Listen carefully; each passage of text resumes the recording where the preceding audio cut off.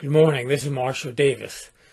The topic of this episode came from a Zoom talk that I did recently, just a couple of days ago, actually. The leader of a non dual group in a nearby town here in New Hampshire asked me to do a 90 minute satsang with his folks and others from the non dual community. And when I got the, the Zoom link that he sent me, it had the title Jesus as Non Dual Teacher. So, that got me thinking about this topic. I, thought I would give some thoughts on the subject in this 15 minute episode, some of which I said in that Zoom talk, and some which I never did get to in that, that Zoom talk. And I've talked about these things before, but here they're all in one place, just in 15 minutes or so. The first thing I need to say about Jesus as a non dual teacher is that the language of Jesus and the Gospels is not the typical language of non duality that we hear these days. Neither Jesus nor the early Christians used words like enlightenment or awakening or liberation, and certainly not terms that have been taken from Hindu tradition. In Buddhist tradition, terms like moksha or samadhi or nirvana. Instead, Jesus used terms like rebirth, and not meaning reincarnation, but being spiritually reborn. He spoke of being born of the Spirit, born anew, born from above. And of course, that term born again, which was later appropriated and redefined by evangelical Christianity. And that is the problem with Christians understanding what Jesus was actually saying, because they've changed the meaning of that term. What Jesus meant by that term is not what evangelical Christianity means by the term. Jesus used these terms, especially in John chapter 3, to refer to what is called enlightenment, or what we might define or describe as opening to reality, or the one reality, a non dual reality. Jesus experienced this reality at his baptism which was the seminal event in his life. It was his awakening experience, although it is not called that in the Gospels. All four Gospels picture this as the event that transformed his life and gave him a message to proclaim. He called it the kingdom of God. The event and experience itself is pictured in the baptism story in symbolic language because only symbolism can describe it. There are no words to describe it directly. the Gospels say that when Jesus came up from the waters of the Jordan River, that the heavens opened that means there was an opening to divine reality. The story says that the Spirit of God descended upon him like a dove. This is the anointing of the Holy Spirit, which is why Jesus came to be called the Christ, which means anointed one. And the symbol of the dove represents peace. It also represents recreation. It is a symbol borrowed from the flood story, which was the recreation of the world after its global baptism in water. It is death and rebirth, destruction and recreation, the end of the, the old self or old reality and the emergence of a, a new self, the seeing of a new reality. Lastly, the baptism accounts say that there was a voice from heaven that names Jesus as God's beloved. This is Jesus' discovery of his true identity, baptized in divine love. traditional Christians don't really talk about Jesus' baptism much. The event is not observed in in most church, churches except for the liturgical ones, and even then, it really isn't any big deal. You know, any Christian could tell you when Christmas is, or in what season that Easter is, because Easter's always changing the exact date. But do you know when the baptism of the Lord is celebrated? In the church calendar, it is the second Sunday of January. And in most churches, that is lost. People are just tired from Christmas. And it's lost in the midst of New Year's. And then Epiphany, if the church celebrates Epiphany. Jesus' baptism is certainly not observed in evangelical churches, at least not like the birth of Jesus or the death of Jesus or the resurrection of Jesus, and yet Jesus' baptism is recorded in all four Gospels, just as much as his death. His birth, that we celebrated Christmas, is mentioned only in two Gospels. His resurrection in three. His ascension only in one.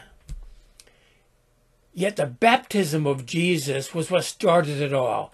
It is the enlightenment of Jesus. It is why we call him the Christ. Just like Buddha's enlightenment under the Bodhi tree is, is what made him the Buddha. The fact that most churches ignore or downplay this event in Jesus' life is an indication that they don't really know what Jesus or his message are really about.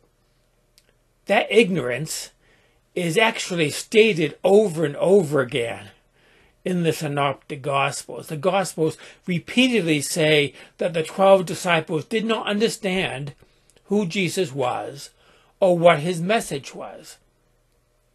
It says they did not know his true identity or his true message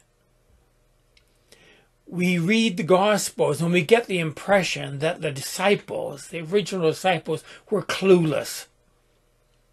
Furthermore, the church that canonized the New Testament, that put these Gospels into the Bible, did not understand who Jesus was and what he was about.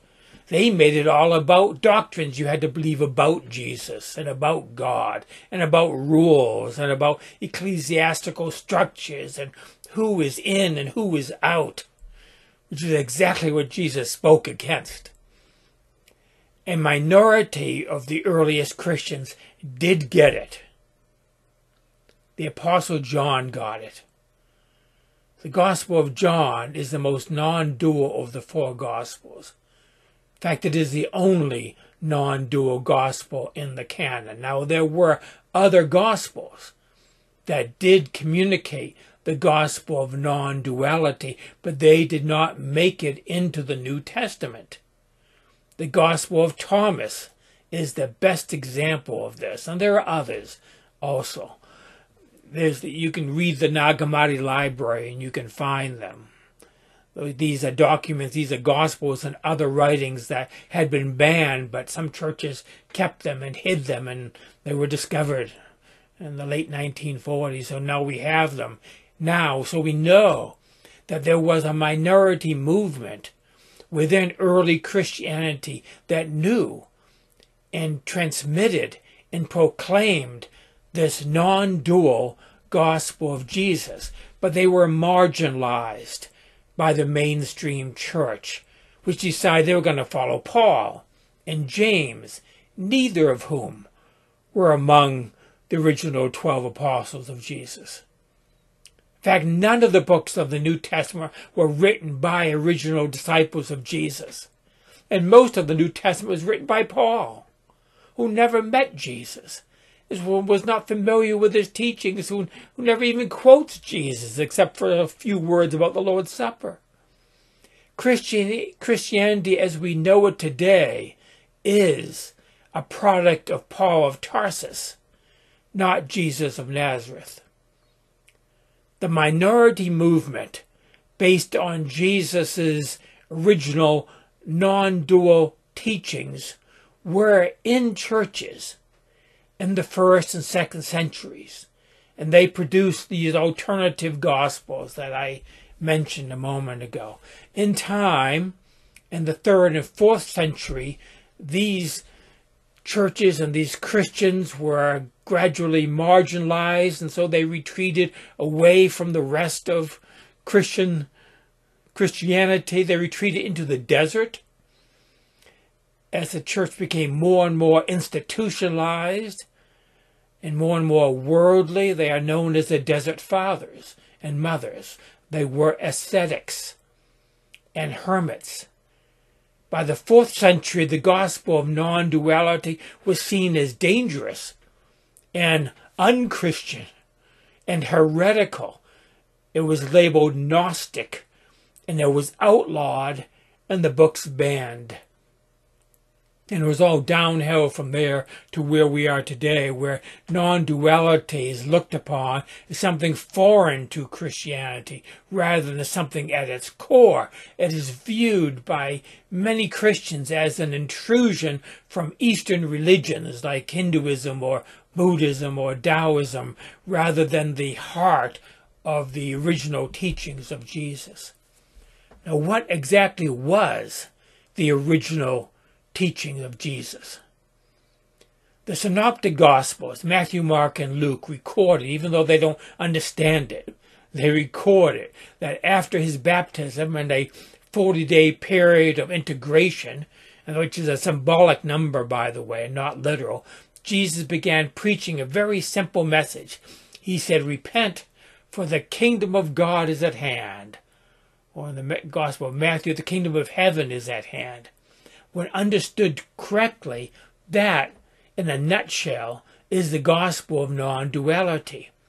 Repent comes from the Latin that means to rethink.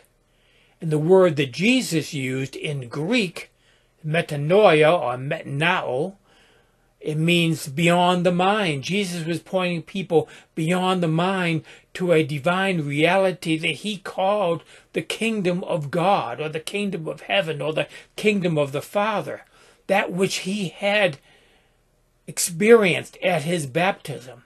When he said the kingdom of God is at hand, he was talking about a divine reality that is present here now. That is what the expression at hand mean, means. It means it's so close you can reach out your hand and you can touch it within, within arm's reach. Jesus made this meaning very clear when he said that the kingdom of God is within you or in your midst, meaning all around you. He said that the kingdom of God is all around us, but people do not see it. Jesus was pointing people to non dual reality. Brother Lawrence calls this the presence of God. Like everything else in the Gospels, his message of the kingdom was also misunderstood by the disciples. It was even less understood by the next generation of Christians, the ones who wrote the Gospels of Matthew, Mark, and Luke the kingdom of God came to be thought of exclusively as a future event that was to occur in history. Now, as a student of Scripture, I have to admit that there seems to be an element of that in the original message of the historical Jesus. At least that is the conclusion of the majority of New Testament scholars. They see Jesus as an eschatological preacher. I think it likely that Jesus' message was twofold. Jesus proclaimed the message of the kingdom here and now, within us and all around us, what some scholars call realized eschatology. He also seems to have taught that there would come a time in the future when all mankind would know this reality, when the whole world would wake up to non dual reality, if you will. That idea of an eschatological breaking in of the kingdom of God is in the first three Gospels. The fourth Gospel stresses the kingdom here and now. Running throughout the Gospel of John is a series of I am statements that Jesus makes. They refer back to the name of God found in the story of Moses and the burning bush. God says that God is the I am, or the I am that I am. This non dual teaching reaches its pinnacle in the 17th chapter of John when Jesus gives his final teaching before he's arrested. It's in the form of a prayer right, be, right before he's taken away and he's tried. Jesus prays for future generations who are going to hear his gospel, and he says this. He says, I do not pray for these alone, meaning his disciples right then, but also for those who will believe in me through their word that they all may be one as you, Father, are in me and I in you, that they also may be one in us, that the world may believe that you sent me. In the glory which you gave me, I have given them, that they may be one, just as we are one, I in them, and you in me, that they may be made perfect in one, and that the world may know that you have sent me and have loved them as you have loved me. That's just one small excerpt from, from his prayer there. That message is unmistakably non dual in nature. It keeps talking about the fact we are one. This message runs throughout the Gospel of John, is a point of many of the parables of Jesus in the other Gospels. As I have said elsewhere, Jesus used parables like Zen koans to catapult people into the presence of God. This non dual teaching is found in the Sermon on the Mount as well, if we look for it. In short, Jesus was a teacher of non duality. And that's it for today. Grace and peace to you.